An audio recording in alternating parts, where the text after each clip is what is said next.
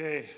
Um, thank you very much for the introduction, and uh, thank you very much for uh, inviting me because um, I think, uh, as I said in my, um, in my title, it's important to, uh, to create some uh, bridges between different communities of people who have the same goal. So, um, first, uh, before, before we get started, I would like just to, um, to give you a, a quick reminder about um, uh, animal conservation, uh, you know that we are losing a lot of biodiversity on the planet because of a lot of detrimental human activities, especially destruction of natural habitat, but also overhunting or poaching of some species. And as a result, as you can see here, we have a really uh, high proportion of those uh, vertebrates that are now extinct uh, or threatened in the wild.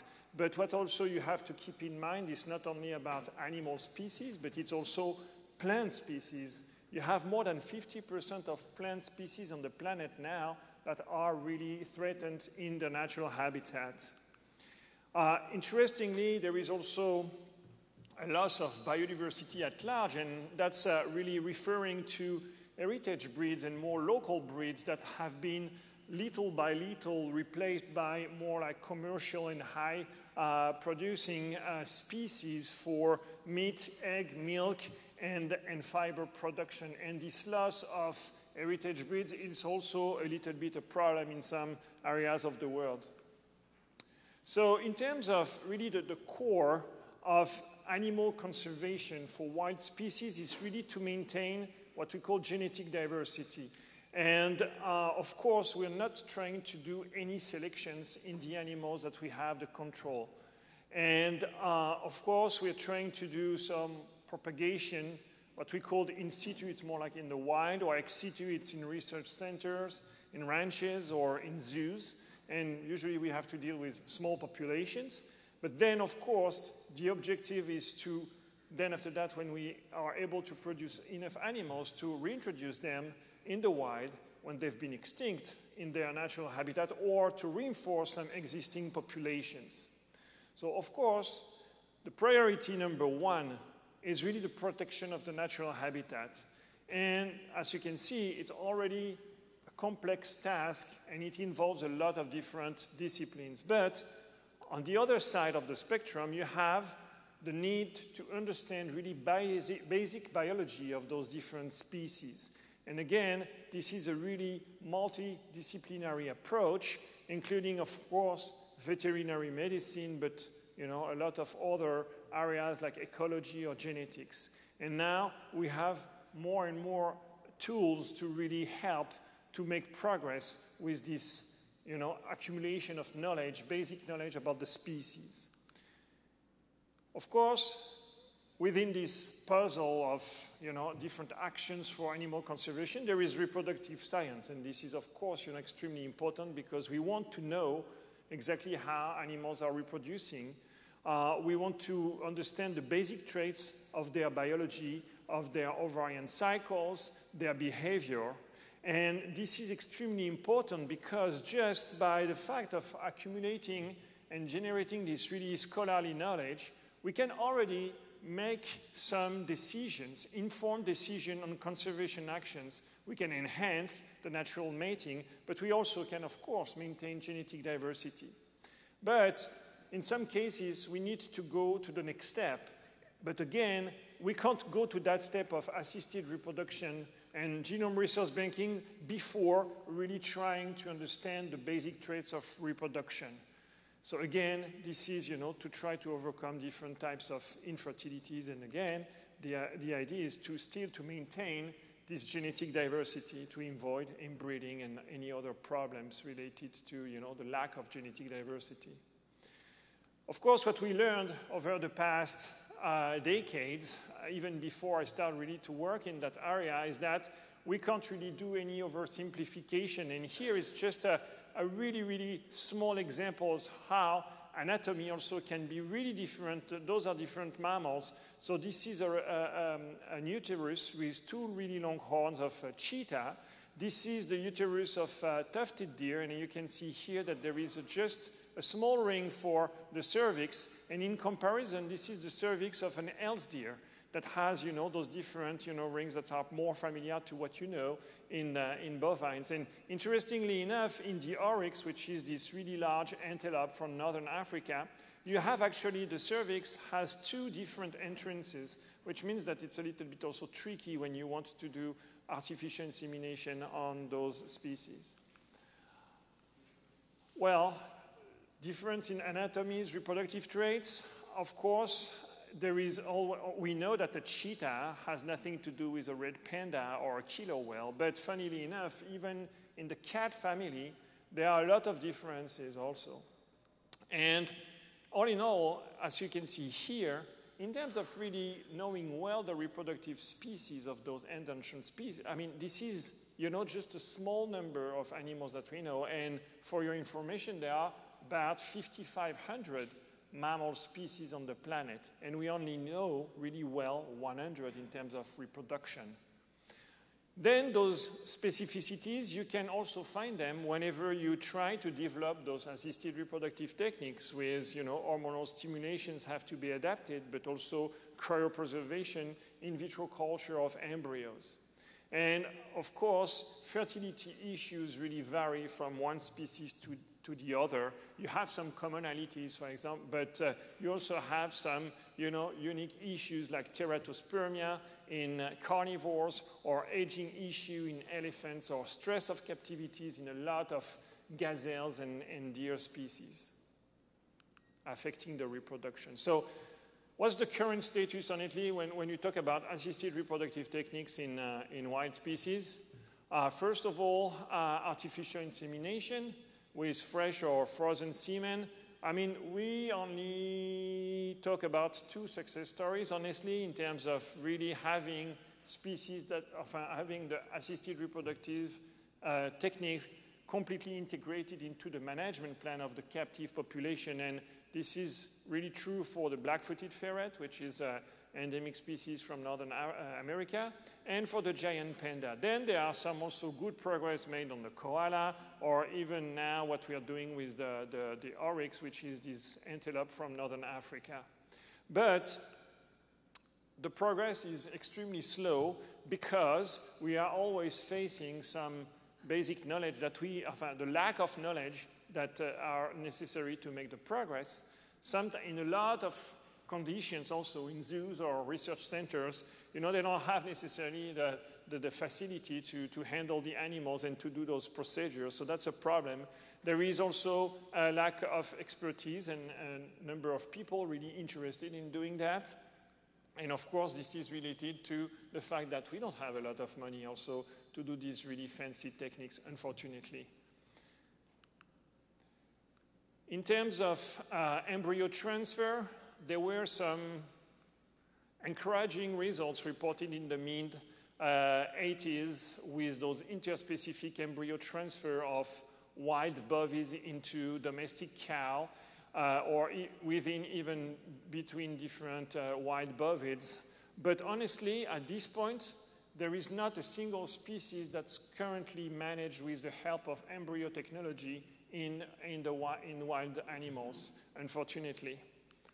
And uh, actually, as I said before, assisted reproduction is not always necessary, by the way, to really maintain genetic diversity and to save those species from, from extinction. Sometimes just a better husbandry is really uh, do a good job.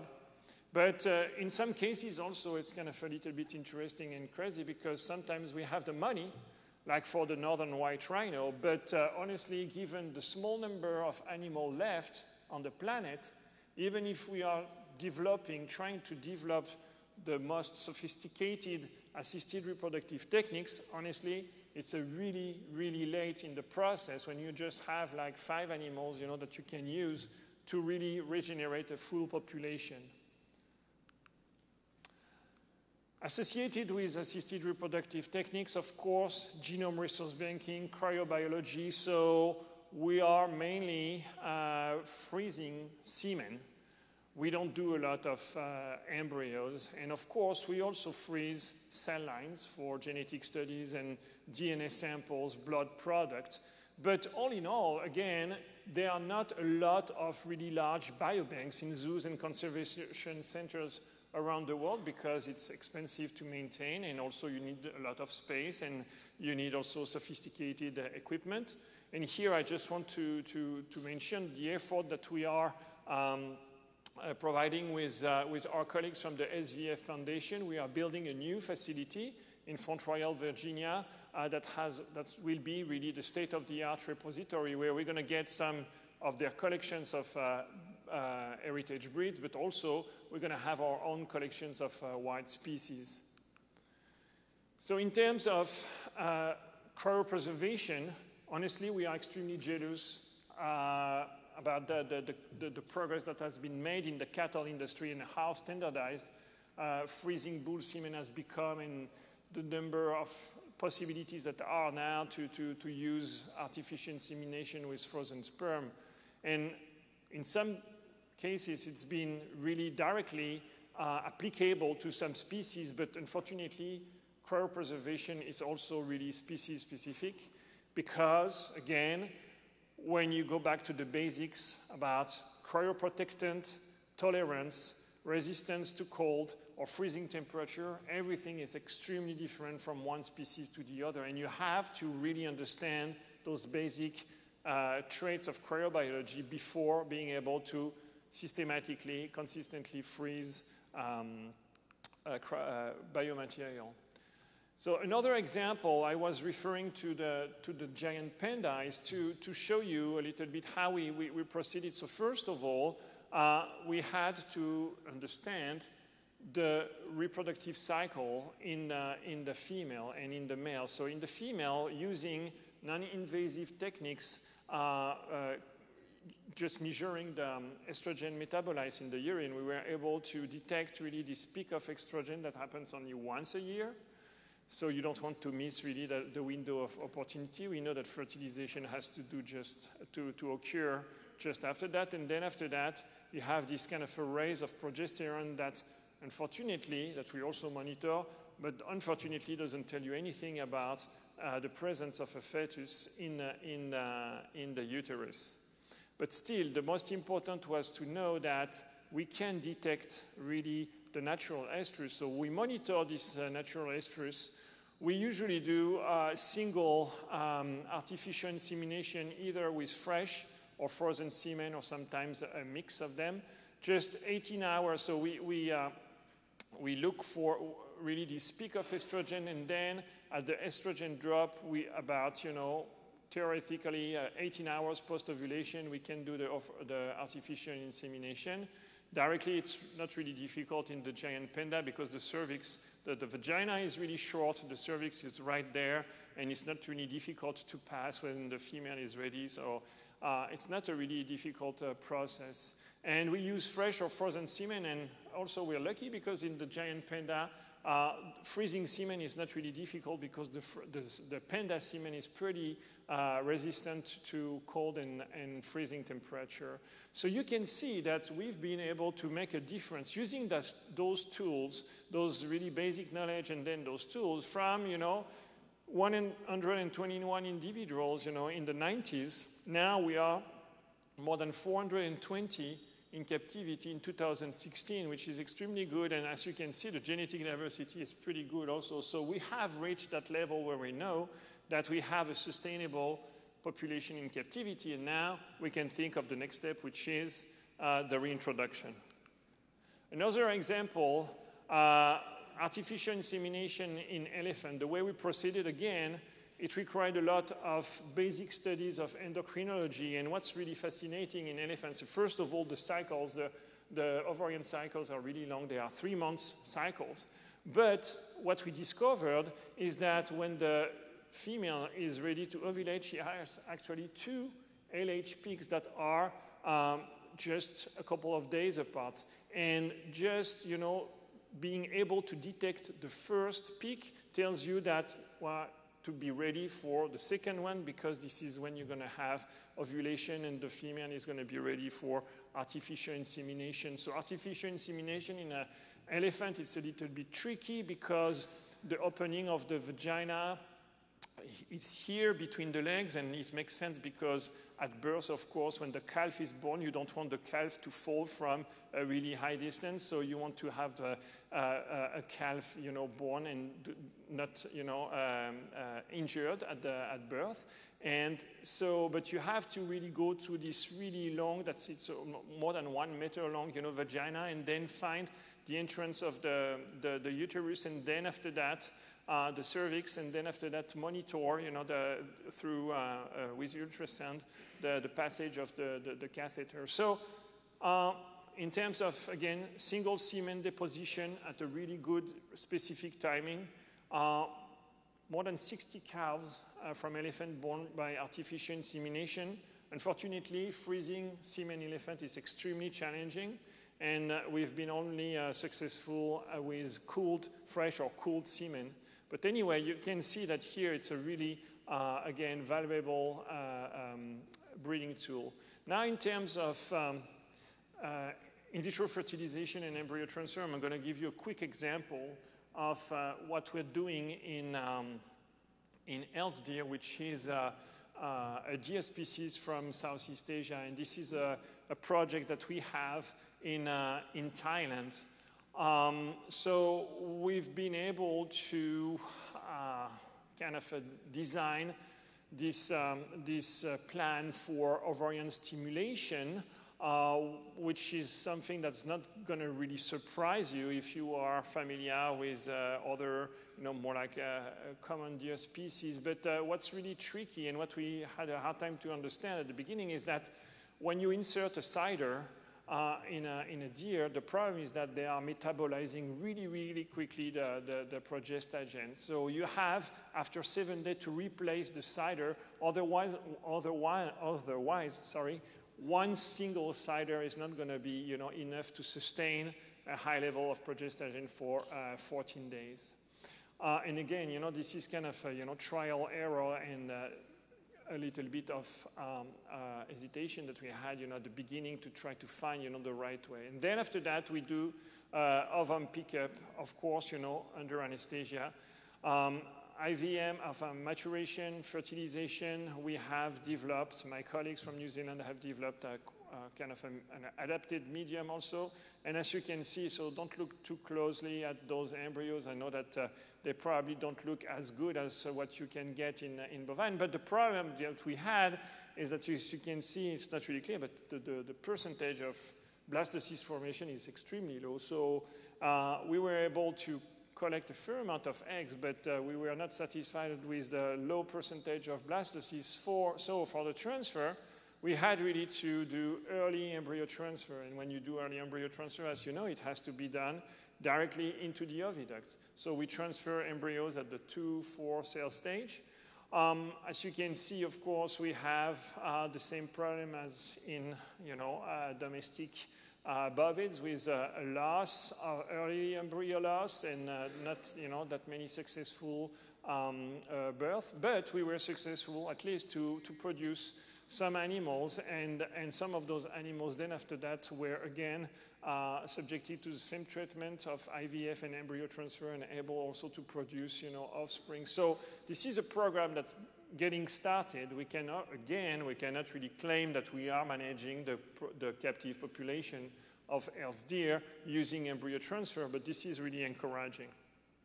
So anyway, um, as you can see, we are making some progress, and we are using kind of, um, let's say, basic techniques, you know, artificial insemination, in vitro fertilization, but uh, the problem is that we can't, this is not enough. This is not enough because in a lot of you know, species, we have a very, very small you know, number of individuals.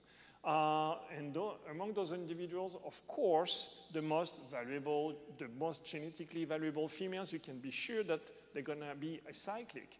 Same for the males. For some reason, they're going to have those infertility syndromes that we cannot really understand. And then, all in all, you know, those females and those males, they are getting old and they haven't reproduced. And of course, oh, they live longer in captivity, but they start to develop then after that some issues related to aging. So this is extremely complicated. So we need really to develop all those different fertility preservation uh, approaches. In order to maximize really the use of the valuable genomes of all individuals that we have, currently have, you know, available. But we want also to protect, you know, fertility of prepubertal animals, especially when we lose, you know, a calf or a pup or a cub, you know, before puberty, we want to be able to recover the gonadal tissues and then after that to produce some uh, gametes that will be able to produce embryos. We want, as I said, you know, uh, address the issue of aging and try to extend the fertility period of those uh, females. And of course, what we can do is to recover, you know, post-mortem, whenever you, we lose an animal uh, unexpectedly, we want to develop, you know, all the different techniques possible to recover the genetic material that will help us to produce, you know, embryo later on. So in this kind of uh, context, for us, it's obvious that there is a huge value for, you know, uh, the, the, the value of livestock species for the, the species that we are trying to, to protect. And this is, you know, looking at what you are all doing, this is extremely inspiring and we need to keep, you know, an eye on what you're doing and what you are developing, what you are, you know, discovering also. And um, of course, that will help us to do more, you know, progress on basic, and it has already been the case, you know, uh, using, you know, your techniques for, for endocrinology or molecular biology Genomics now is something that we are integrating little by little, and we are even, you know, using some genotyping arrays that have been developed in, uh, in uh, dairy cattle, for example, for some of our antelopes. But we want also to be inspired by the new method that you are coming up with ovarian stimulation, synchronization, and then, of course, you know, all the techniques of assisted reproduction, plus, of course, the sex sorted semen. That is a problem that we have also in captivity because we have a skewed sex ratio. We have too many males, especially in antelope and, uh, and gazelle species, which is an, uh, a problem in terms of management. But um, as I said, even if we can be really inspired from what you do in your regular practice, the big also difference that we have is that we are dealing with those wild animals that are not really easy to handle, that are stressed, and that can be also dangerous. So there are just a few species. While you saw the picture of the elephant, an elephant under sedation can let you, you know, do all the artificial insemination, but they have to be trained. But most of the other species, and especially carnivores, we can't do anything on an animal when he's awake. So we have always to use anesthesia. So which is also kind of uh, uh, another complicating factor because under anesthesia, of course, sometimes you change also the quality of well, the contraction of the uterus and the success of the um, artificial insemination. But what's also interesting to think of is that what we do uh, can be also uh, uh, interesting for you because, especially in terms of basic reproduction, we study a lot of different species. We have a huge you know, knowledge in terms of comparative uh, reproductive biology, and I think this is a key to really understand and to address some of the infertility issues that you can have also in domestic livestock. Uh, what's interesting also is that, you know, we are uh, sometimes dealing, of uh, we, we have in our wild population animals that are extremely different. So we call that, you know, the patient-to-patient variations in terms of anatomy, physiology, or even in, in terms of infertility. So sometimes we have to customize also the, just the treatment or the approaches to those animals, which is also extremely uh, interesting. And we had to develop uh, some kind of uh, unique tools in our area, and I was referring earlier to the non-invasive hormone monitoring using uh, fecal and, and, and uh, urine uh, metabolites. And we also have, as you could see, for the elephant to develop some, some uh, new instruments. Pregnancy diagnostics is also a big deal for us because I was referring to the panda where we cannot really use the progesterone as an indicator of pregnancy. So we are testing, screening different types of protein, proteins, peptides that are circulating in the blood, that are also excreted in the urine. And we are really trying to find those new indicators that could be at some point interesting also for you in terms of understanding you know, early embryonic loss, for example. And now, as I said, also we are really integrating you know, bioinformatics and and modeling for the genetic management of those small population. And I think this is also directly applicable to the heritage breeds where you also face the same kind of issues of having a small number of animals to, to reproduce. So here in terms of still to try to illustrate how you know, what we do can be inspiring to you, um, I would like to, to briefly talk about what we've done in cheetahs in captivity, uh, we have the problem of uh, those old females that really do not reproduce, and even if we can see that they have regular uh, ovarian cycles, they are in estrus, but they do not reproduce naturally, and even if we do artificial insemination, nothing. So we did some studies um, uh, 10 years ago, starting 10 years ago with my, with my colleagues. And first of all, we looked at you know, the oocyte quality. We wanted to know, is it an, a problem of oocyte quality? And actually, we confirmed that oocytes even produced from uh, an old cheetah female are still good quality. They're going to still form uh, uh embryos in, uh, in vitro. However, uh, when, sorry, when we looked at the, um, the uterus, the uterine environment, that's where we saw really the difference because we have this huge issue of uterine um, hyperplasia, especially in the epithelium, in all females. So, and that's the problem that we have because, so here, you know, this is not even the lumen. Those are the really the glands, and the lumen is just here. So this is not really the right environment, of course, for development and of early embryo and then implantation of these embryos. So that's also something that we are trying to address because we think that that hyperplasia is kind of related to these kind of successive, you know, um, uh, waves of estrogens that the female has been exposed to during her life without never reproducing, actually. Also, something that's really interesting uh, in cats, I was talking about the fact that the cats also are different, but you can see here you know, we did those studies really long time ago trying to, to find, to, to look at the best, the optimal, optimal uh, stimulation protocol. So we use ECG, HCG really to stimulate the, the first to stimulate the, the follicular uh, growth and then the ovulation. Um, but you can see even, you know, uh, there is no consistency between the dosage and the size uh, of the animals. So again, that shows you that whenever we start to work with a species, it's extremely difficult to translate one result to, uh, from a species to, to another one. And then, of course, I was talking about trying to increase the different, you know, the um, options for fertility preservation.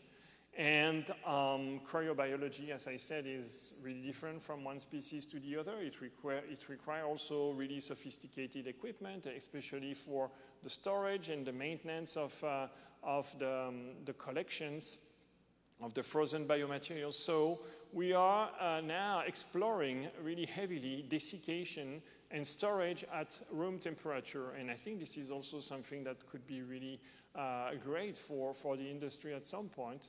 Of course, there is already some preliminary results showing that DNA samples, blood products, somatic cells, even sperm cells can be dried and uh, uh, that uh, uh, cold temperature, but not freezing temperature. But what we were interested in is uh, trying to do that for the egg because the problem we have in our species, and here it's just a comparison, the cat is the, the only kind of exotic species here. Huh?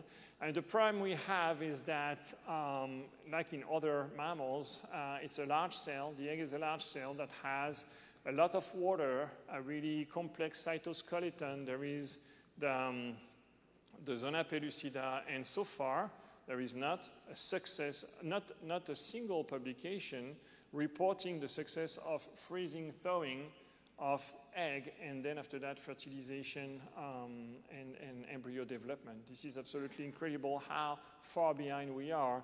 But no matter what, that's why we are trying to, to, to, to, to, to, to get to reach the success through other way. And that's how we, have, we are developing really the just, you know, the preservation of the germinal vesicle. We don't care about the cytoplasm or about the, um, the zona pellucida. We are just interested in the maternal genome that then after that we can transfer into a fresh recipient egg. And um, you will see here that we've been developing this uh, microwave technique. So it, it's a little bit like a, a, microwave that you can have in your kitchen, except that it's only uh, sending pulses on the samples that are the suspension containing the, the germinal vesicle. And it uh, allows like that to have a more homogeneous drying. And of course, the, what instead of a cryoprotectant, we are using a, a, a xeroprotectant, which is a trehalose, which is a, a natural sugar that's used by some microorganisms to resist really dried uh, conditions. And by doing so, we've been able to show that uh, we are able to maintain uh, and to preserve uh, a pretty decent DNA integrity of the, the, germinal vesicle. And then after that, when we inject those germinal vesicle into um, uh, fresh eggs, we can have those reconstructed oocytes that can be fertilized. And then after that, that can form uh, embryos. This is research in the domestic cat, by the way. And uh, we have not been able to uh, yet to, to apply that to any other species. But again, I think it's uh, really encouraging. And we've been also able uh, to do the same for the cat sperm. Again, those are not super good looking embryos, but still, they are embryos. And that we got, you know, after sperm injection with sperm that was dried using that technique, stored at room temperature for several weeks, and then injected uh, with, um, with, uh, within the oocyte. Okay, so going to even to the next step, we're trying also to understand the epigenetics. I mean, we all talk about genomics and uh, DNA sequences, but you know that what really condition the phenotype of an animal is really the access to the, to the DNA for the transcription factors. And the transcription factors, they can only access the DNA as long as you have some specific, you know, radicals or, or histone you know, modifications that are allowing the access to, to the DNA. So this, you know, this uh, vast you know, amount of, of factors, they are called the epigenetic factors. And we know that they are also transmitted from one generation to the other. And interestingly enough, what we've been able to show in, again, in, some, in the, our carnivore model is that really during the spermatogenesis or during the uh, folliculogenesis, the sperm and the egg, respectively, are acquiring the competence really uh, because of some changes of the epigenetics. So now, when I was talking about the fact that we want really to maximize the number of genome from a given donor, what we are thinking of doing is uh, to try, and that's what we've already started to do, is that whatever we collect from ovarian tissue or testicular tissue, instead of trying to do this really long-term in vitro culture to produce mature sperm or, or oocytes, we are just manipulating the epigenetic and trying to make sure to switch them to a more competent you know, state immediately. So this is just an illustration of, uh, this is one of the key factor in the germinal vesicle that has to be really uh, triggered in order to, for the germinal vesicle to be competent. So there are even more, you know, other new horizons that we are exploring for uh, animal conservation and, and wild species. Uh, we are now really interested in monitoring the vaginal microbiome and to try to understand how it it's connected with uh, ovarian activity or physiological status or even pregnancy. That could be a way maybe to monitor the, the, the pregnancy in some uh, species. We also are working uh, with bioengineers in those nanotechnologies or those uh, um, systems to monitor, to do some remote sensing of temperature or pH, either in the body or in the, in the vagina. And of course, we are using, uh, you know, I was talking about epigenomics uh, and even genomics. We are using, we are generating a lot of data uh, for our species. So now we are also uh, facing the issue of the big data that we have to manage and to store and to interpret. So honestly, at this point, we need the help of huge, you know, uh, tools in, in bioinformatics. So to finish now, I would like to uh, reemphasize the fact that we need really to build more bridges uh, between our communities because, of course, uh, there are really mutual benefits. And so why? Why do we need, again, to, to build those bridges? Because, as I said at the beginning, we share, we share the same goal. We want to produce really healthy babies, and we want to make sure that uh, they are also genetically uh, valuable. We want also to solve some of complex fertility issues that we are, you know, uh, observing in some, some, some animals, especially in some uh, females. Uh, we need more preservation option, and we need also techniques that are also cost effective, and if possible, so we want methods that are field friendly. And when I was talking about desiccation or uh, storage at room temperature of sperm or egg, I mean, this is something absolutely fantastic and that could have a huge, you know, uh, impact on the day-to-day -day, uh, operations. And again, why also? Because, as I said, related to the heritage bridges, we have sometimes also to, you know, uh, deal with small populations. So how can we build more bridges? Well, more comparative studies, of course, we need to work together, I think, into, into this um, uh, integration of the new technologies like genomics and reproduction. I think it's a little bit uh, stupid of us so far because that, I think I, I, I, confess that my community hasn't been really open to the other community, but we really need to work with you on the fact that how to integrate really the genomic tools now into the, the, the assessment of fertility and reproduction. We need also to make sure that the data, the big data that we are generating are standard and that we can, of course, exchange them. We need more communication, uh, especially about the biobank use and maintenance because, um, of course, at, in your area, you're almost at the, the, commercial industrial level, but we are a little bit far behind, but we have a lot to, to learn. But altogether, I think what's really important for the sustainability of our biobanks and the programmatic also sustainability of those biorepository, we better have also to communicate with the larger community, including uh, human reproduction and human biobanking. Of course, you know, we need to, to have more breeder uh, uh, connections with breeder associations and also wildlife uh, ranches. And um, of course, more uh, connections between the practitioners and the societies workshops, uh, exchange lecture, and that's why I'm so happy to be here with you today because uh, I think I'm helping to, to, to, to, to make this uh, bridge between the two community within, you know that within the International Embryo Technology Society, there is a committee about uh, non-domestic species and endangered species. Uh, so that's kind of something uh, really interesting. The Society for Study of Reproduction uh, doesn't really deal a lot with, uh, with uh, wildlife and they are more like uh, interested in, in basic biology. But again, I think it's really important to be aware of what's going on and make sure that we can also share you know, information. And last but not least is really the cross-training, training you know, the young people, professionals, and make sure that we have people who are you know, can be really good at artificial insemination in a dairy cow, but also have some knowledge, you know, in, in other species. I think that would help a lot in order to make some, some progress to have this kind of a dual competency uh, in professionals. So to conclude, um, this is leading a little bit to, this is my last slide leading to, okay, how do we see from our perspective what's going to be the fertility preservation in the 21st century? Well, in terms of biodiversity conservation, we keep facing new challenges every day. You know, we have the amphibian crisis with the disappearance of all the extinction of all, all those amphibian species because of the chytrid fungus.